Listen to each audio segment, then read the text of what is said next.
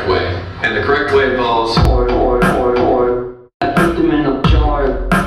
Friggin' musical chairs. beeps, beeps, beeps. Unclogged vacuum hose.